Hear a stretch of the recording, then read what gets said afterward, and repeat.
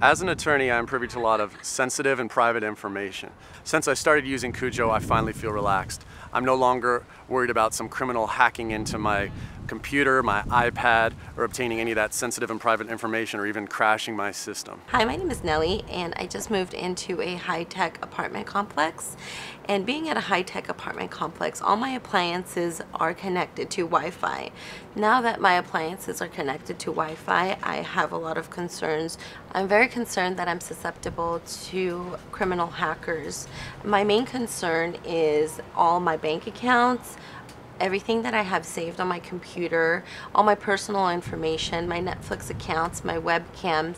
Now that I have a Cujo, I'm very confident that I will be protected from these criminals. As a new mom, it's really important to me to protect my baby, and after seeing stories on the news about how people can hack through our baby monitor and watch my family, it's really comforting to know that I can just plug in Cujo and start protecting my family immediately.